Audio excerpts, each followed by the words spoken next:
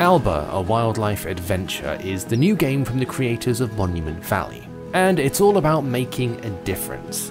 Alba herself is a young girl who visits her grandparents' home on a small island called Pinar del Mar. The island is full of wildlife, nice people, and plants. She explores and ends up saving a beach dolphin by alerting some of the locals to help it out. With her grandparents' old phone and an app that allows you to scan animals to figure out what they are, you start snapping pics of the creatures, filling bird feeders, and cleaning up trash so more animals will appear.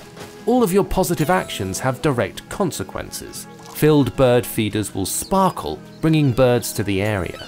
The trash goes in the bin, which again draws the beasties in. Soon enough, the ecosystem is flourishing with happy animals. However, it's then that you face your first big enemy, capitalism. A large luxury hotel is going to be built in the middle of the wildlife reserve, and naturally it's down to a small child on vacation to fight back. The moral of this one is simple. When you advocate for a cause, others will start to take notice. Catalogue the wildlife well enough, and people start to take an interest in the creatures you're photographing, visiting the nature reserve, and ultimately signing petitions against the hotel project.